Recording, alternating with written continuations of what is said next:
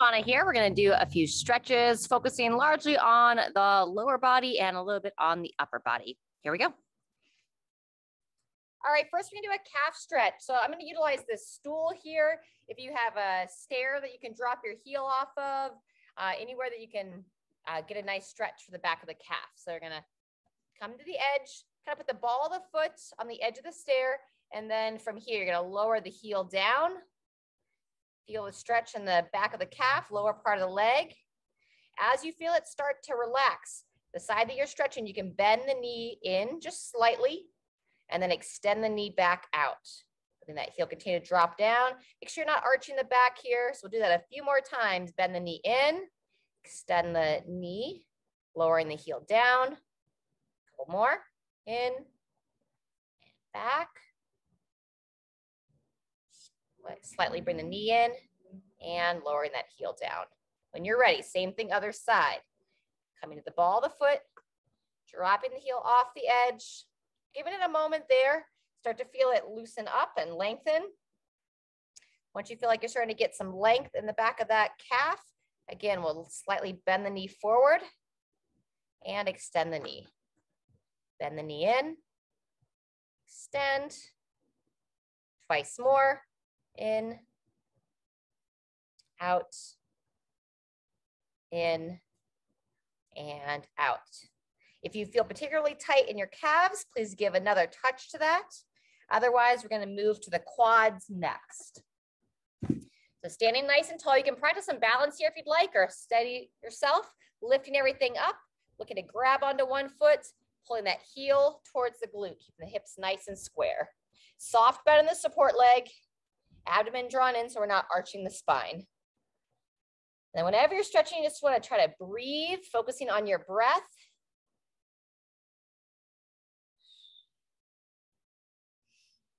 As you're breathing, look to breathe in through the nose, out through the mouth.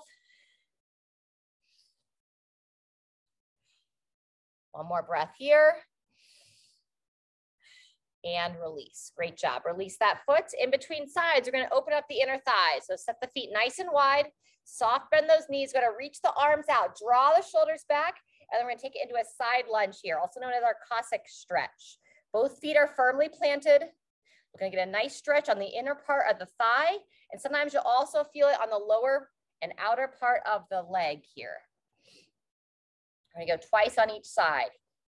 Foot is planted and knee drives out. We don't want this knee dropping in. Breathe in as you come back to center. Nice tall chest, gently exhale, sinking into that side lunge. Breathing, coming back up and exhale. Very good.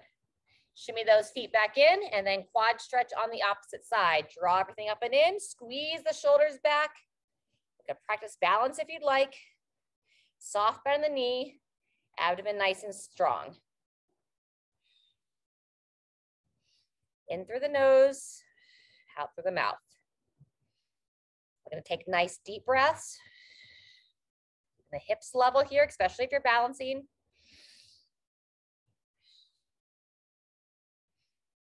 And release. Great job. Next, we're gonna go into a toe touch or a Jefferson curl.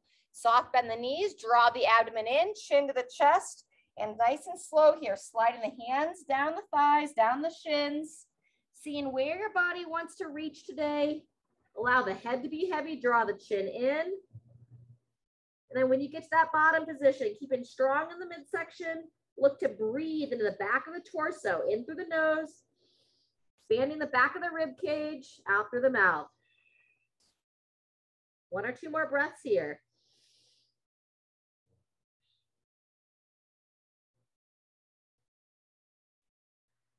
On that next inhale, gradually start to stand back up. Standing nice and tall. Very good. From here, we're gonna take a seat in the chair and open up through the hips. So our seated figure four, sitting right on the edge of the chair, draw one foot up and gently invite this knee to drop down. You can hold the hand on the same side knee, shoulders back, and sitting nice and tall. Invite you to close the eyes here and just breathe smooth in through the nose and out through the mouth.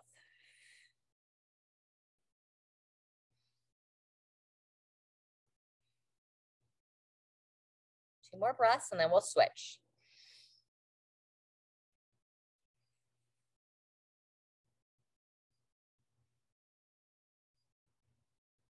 Good, when you're ready, pull that leg up set it down, and same thing other side. Foot up, grabbing onto the ankle, inviting that knee to lower down. You can set the hand on the knee. So I want these to be subtle stretches, nothing intense. And then back to the breathing, in through the nose, out through the mouth.